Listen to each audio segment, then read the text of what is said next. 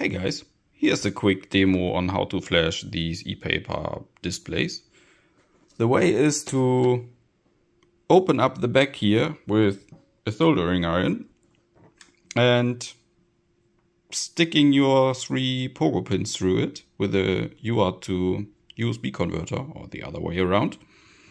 And it's really as simple as using three of these the USB to UART converter and yeah, a small PCB.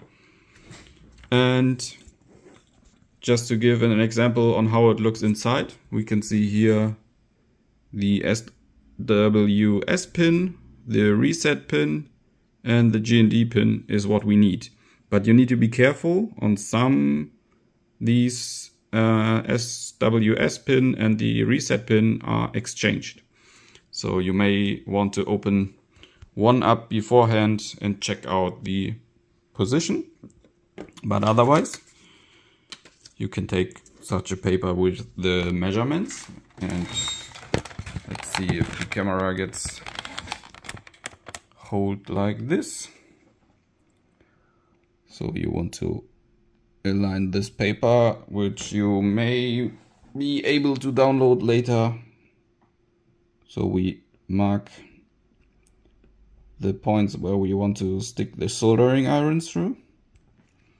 If the yeah pin would write. Yeah, okay, let's do it with a tweezer then. Just need to mark the right position. Like so. And now we can just stick the soldering iron in and yeah Alexa, stop. Sorry about that. That was strange. Seems like Amazon wants to listen in and also know how to do it. So we stick it in like so. Like so. And here is a bit of plastic in the way, so we need to do it a bit longer. But otherwise, that's it. And I will directly clean the soldering iron as otherwise the tip may get damaged. So like that, we can now take a look inside. It does not seem to be aligned perfectly. So I will um, do it once more.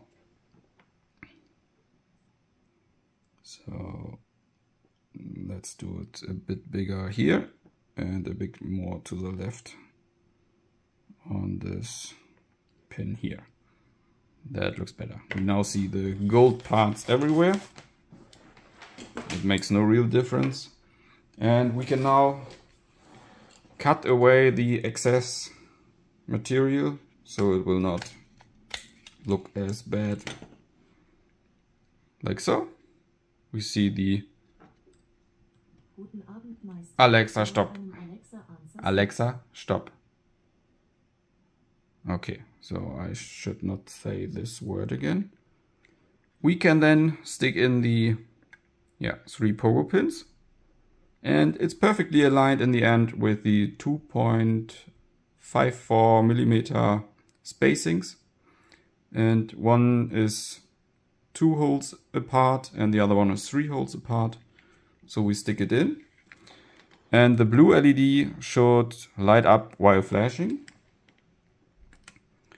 and on the PC, I'm opening the Flasher website and select the COM port that we yeah, have connected the uh, USB to UART converter. And I will now click on Unlock Flash. And as you can see, it was only shortly flashing up. And this means on this, the pins are rotated the other way around. Because now we are only resetting shortly.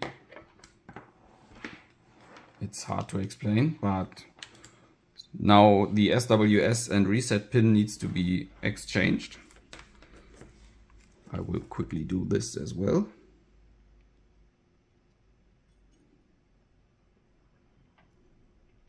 In the future, if there is a real flasher with like an ESP32 or something, Um, the detection of reset pin can even be included, so it will switch it automatically. So now we have exchanged it and yeah, plug it in again, turn it around and re-pressing the unlock flash and you can now see that it is uh, longer on. I will now select the file to flash and yeah, we'll uh, write it to flash. And you will see it blinking up every now and then. And if the frame rate is fast enough you could even now see the data that is transmitted. This is now every byte packet sent to the microcontroller inside. And it's now done. The flashing is done. And we can yeah leave the programmer and we can also see that now the screen is refreshing to the custom firmware with Open ePaper link. And yeah, the PCB should now also, or the access point, the Open ePaper link access point will now also find a new device, which yeah, is then possible to be used as a normal Open ePaper link device. And just to show that as well, I draw something simple in the access point, which should be sent to the display in a few seconds.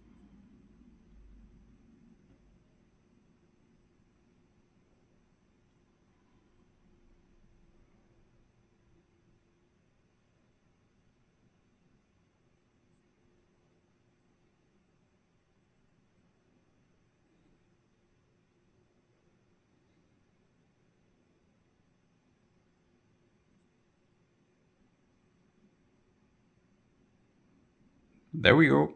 That was the quick demo of converting this ePaper price tag to an open ePaper link Zigbee display. See you next time.